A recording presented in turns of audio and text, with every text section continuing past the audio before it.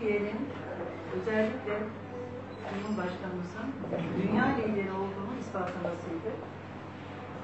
Orta Doğu'daki sorunları, planları kuran her zaman başkalarıydı ama şu an Orta Doğu'yu biz yönlendiriyoruz. Cumhurbaşkanımızın ilk görüşüyle özellikle Kudüs olayında verdiği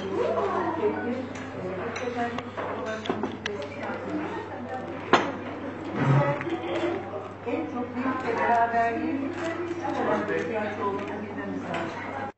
Anlamda e, tahrik oluyor. Çünkü ev boş kalsa bile düşünülemez. O boş kaldığında bile insanlar ne kadar sıkıntı burası bile bir tesis var. Bir de son zamanlarda e, biliyorsunuz bu gerçek ülkeye gelen e, yabancılar var, işte Suriye'den gelenler var, onun dışında tarım işçileri var. Onlara baktığımız zaman sosyal sorumluluk konusunda sıkıntılar yaşanıyor ve bazı aileler arasında da büyük çatışmalar görünüyor. Bu da ülke, ülkede tedirginlik yaratıyor. Ee, aslında bu da hepimizin problemi. Bir tek siyasi partinin ya da belediyenin değil. Bununla ilgili hükümet nezdinde e, e, gerekli görüşmeleri yapıyor musunuz?